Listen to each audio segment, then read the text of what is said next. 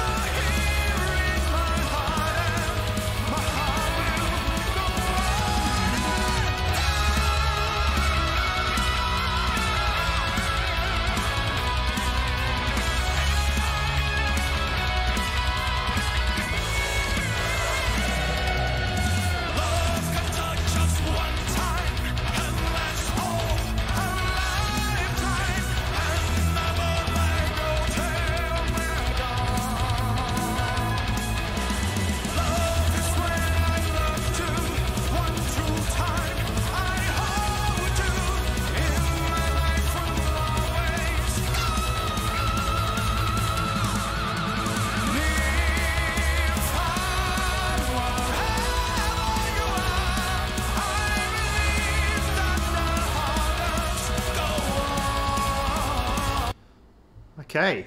So yeah so for me you know i know we, we sort of say this when he's done previous metal versions. What i like about his metal versions is that they're fun metal versions. They're not they're like hardcore metal that's going to just turn us right off right? Because we're not into metal. But with this it's just it's like he's kept the original style of singing. He's still singing in a normal way. He's not growling um, and it, it's more like the obviously the instrumentals and but it's just nice I don't know. It's just like a real upbeat version of of the original song. Like but yet at the same time it's still similarities between between them despite how different they are. Obviously this is all you know as I just said like so upbeat and metalled up whereas the other one is so so slow. Um, so and I'm really liking it, it, I just wasn't sure how this was going to work because obviously you ma- I imagine the song being so so, so such ah, so softly sung not softly sung but so slo- sung so slowly. So but it's working really well. Um, so as usual uh, I'm really enjoying this. It's just like a, a breath of fresh air just really enjoyable good fun what about you Are you enjoying it as much as me? Yeah, I think I'm enjoying it just as much as you. I'm really glad you went first because you said the same things I would have said, but I think you said it a lot better. I was worried to say it's so different, but yet so much like the original, like it's been sung in the original way. I think we said in comparison with the other previous ones we've done of his, um, yeah, it's been the same sort of thing. There's there's no denying. Like what I love about it is he's got such a good voice, such a good voice. I'm glad he doesn't do sort of the grounding with this, and it, it really shows even with this sort of song here.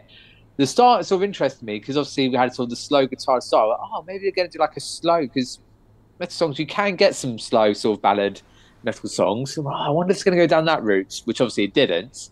But I would like to see if they would do a version like that. Um, but this, yeah, like I said, it is is just taking the almost like the good parts of metal and the good parts of the Celine Dion song and just sort of put them together. And as you said, it, it works really well. Yeah. Also, probably should give a shout out to the guitar guy. I can't remember his name because we haven't mentioned him. He's also plays a big part in this and, and in the previous metal Dan Vasc songs as well. Um, and I'm also looking forward to the end when hopefully Dan Vasc comes on and you know says I don't know thank you for watching and uh, Oh, oh, that bit. I was like, Yeah. we the big note at the end no not not bit at the end. not not that I'm, I'm talking about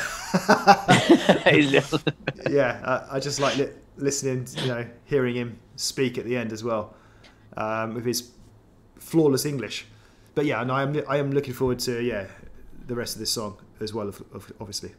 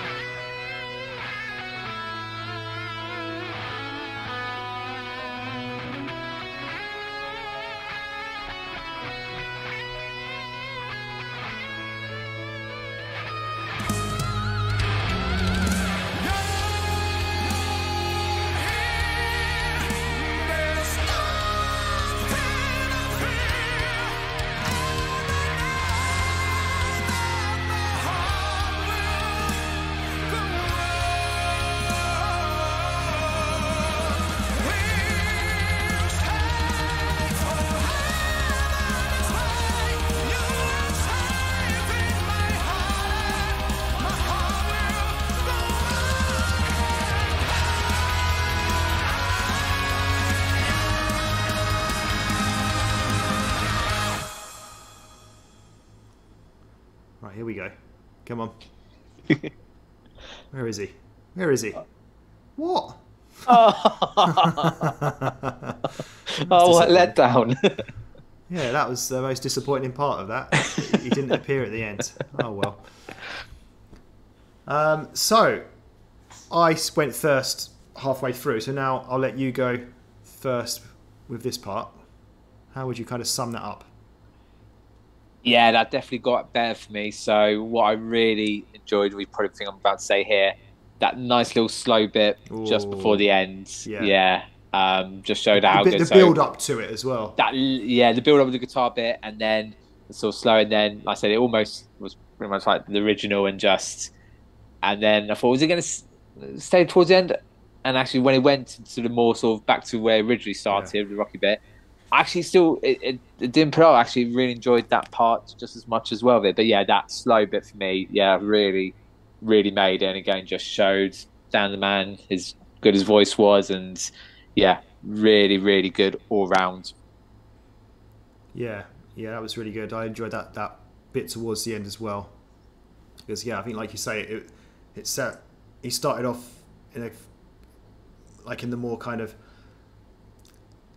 kind of like the original, but then went into back into yeah the kind of heavier stuff. But it, it worked out really well. There was a good blend. It all went together really well. I thought they got the balance just right. It wasn't like too over the top in terms of the heaviness, but yeah, it was. It had enough heaviness in there to, to make it very different, but yet at the same time, it, there was parts of it that felt quite similar to the original. I don't know. It, it just all went went together really well, and I suppose ultimately what I can say is it just they really spiced up a, a very slow song. Um, it really it was, it was really good. I really enjoyed it. So it did it didn't disappoint, and I'm, I still haven't heard a Dan Vasc song that that has disappointed. To be honest, um, yeah, really impressed. Enjoyed it. So that's it from us, guys. Thank you for watching. If you're from Brazil, obrigado. and we'll see you again soon for the next one.